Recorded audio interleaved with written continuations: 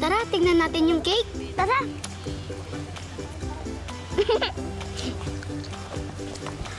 wow, ang ganda naman ng cake mo. Parang ayoko na siyang kainin.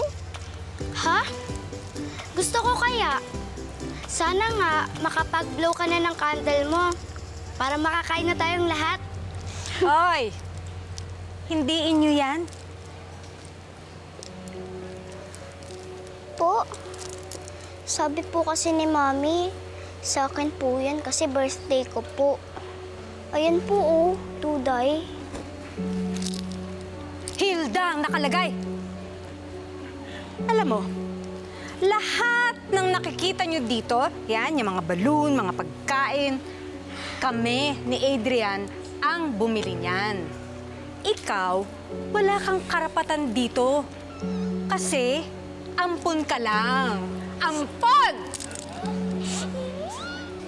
Kahit naman po ang pun ako, anak naman po yung tawag sa akin ng Mami at Daddy. Naawa lang sila sa'yo, kaya kanila tinatawag na anak. Ang gusto nga nilang tawag sa'yo, tiyanak. Ikaw, ah, tandaan mo to. Hindi ka namin kadugo. Hindi namin kilala yung mga magulang mo. Malay namin kung mga kriminal sila, magnanakaw, masama ugali, sinungaling, madungis, lahat-lahat na. Painis ka. Ano?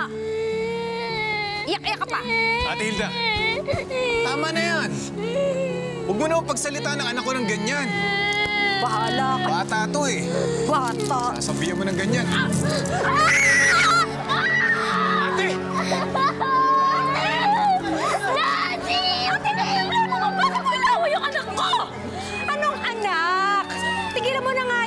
Yung ilusyon mo na yan. Wala kang anak. Wala kayong anak. Yang si Duday, ampun nyo lang. Anak namin si Duday. Kahit hindi namin siya kadugo, nandito siya sa puso namin at parte siya ng pamilya namin. Hindi naman kailangan na kadugo mo isang bata para matawag mong anak. Palibasa, ikaw, hindi mo alam yun dahil kahit kailan hindi ka naging isang ina. Bastos!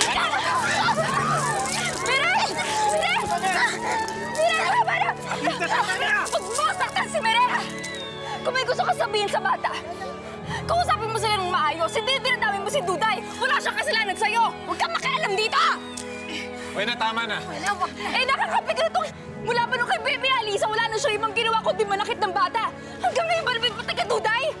Pwede na, tama na. Ano ka ba? Ano ka ba ng batang yan? Nanay! Huwag kang makialam dito! Outsider kayong dalawa rito, kaya out! Ah! Ano ako? Ano ba?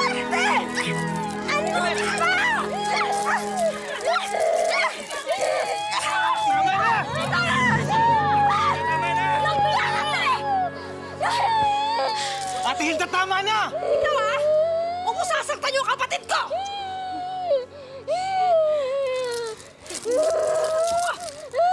Sa uli-uli, naawayin niyo ako! Hindi lang yan ang mangyayari sa inyo! Adrian, pangsabihan mo yung asawa mo! Yes!